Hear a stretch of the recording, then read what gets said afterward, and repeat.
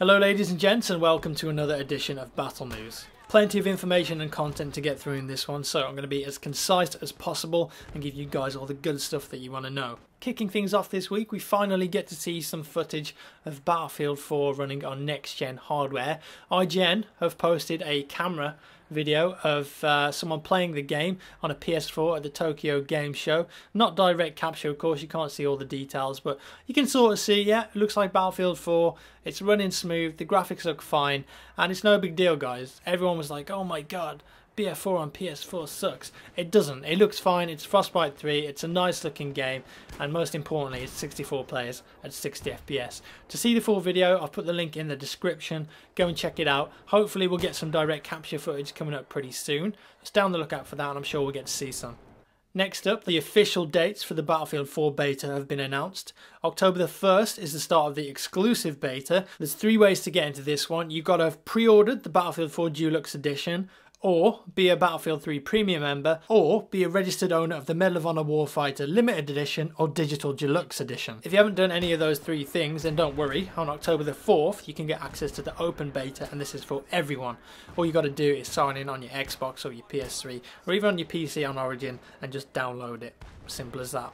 I'm super excited for the beta, guys. It's only like two weeks away. It's going to be massive, and it's going to be great playing with and against you guys. I'm really looking forward to it.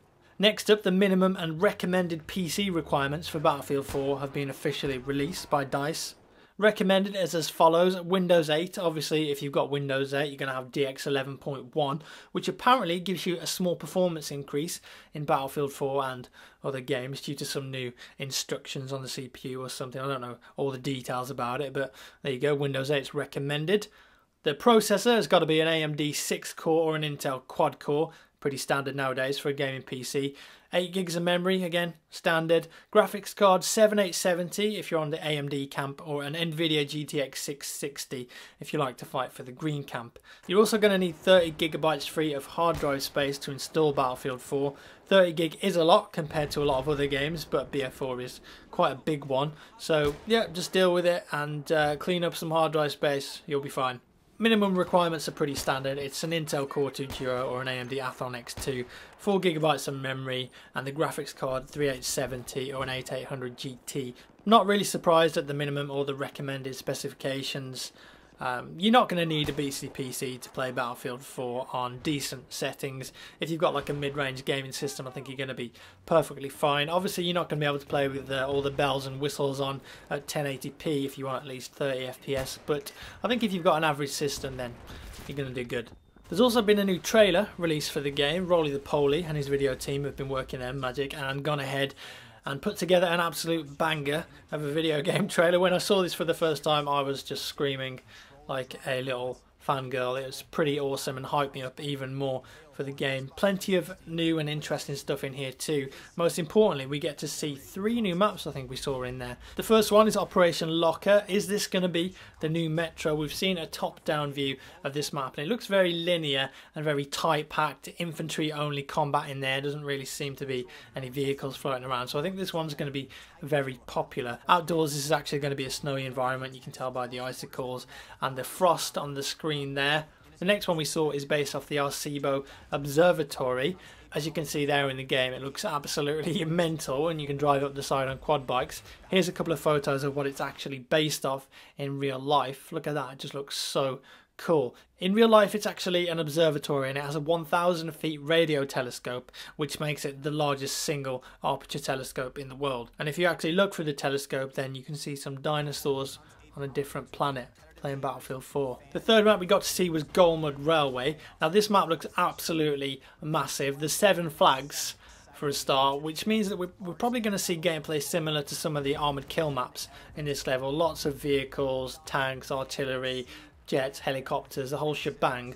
Also, we can see now that there's probably two types of jet per team on the bigger conquest maps.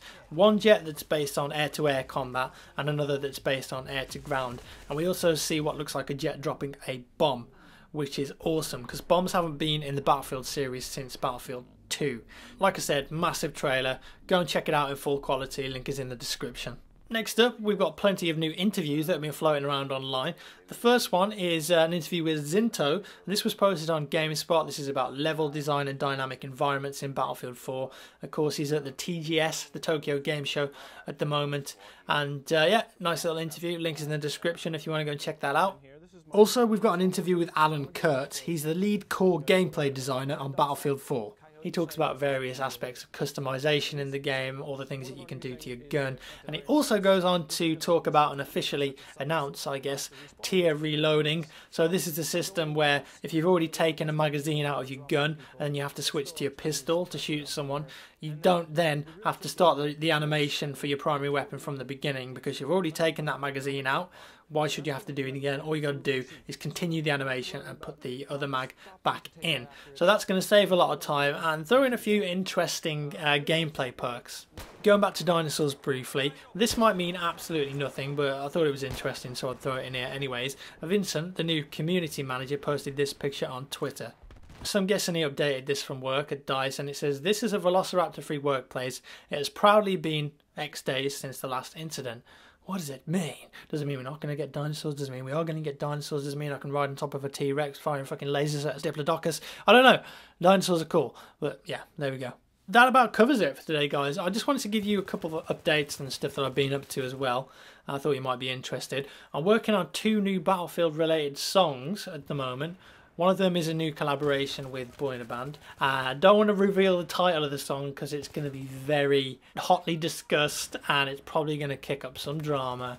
But we've worked really hard on it and I've actually spent a load of money buying props for it. So it's going to be good. And I can't wait to release that. We're working on that right now and we're going to be filming it and recording it hopefully next week. The other song is a Battlefield love song.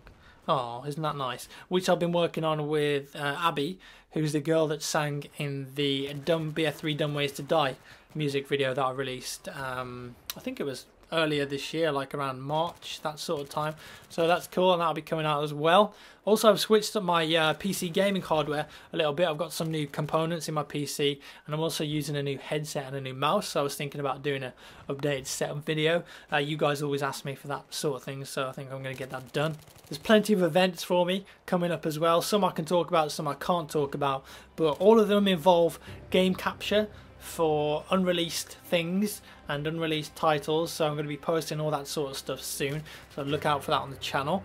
Finally check out the squad video from yesterday if you missed that one lots of effort went into that so if you click on the annotation there you can go to that video and give it a watch. If you don't know what the squad is, basically it's my version of Level Cap Squad Up.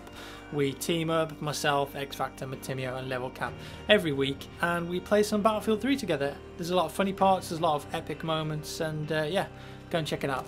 That about wraps it up for today folks, hope you enjoyed this one. Have a nice weekend and I'll see you in the next one.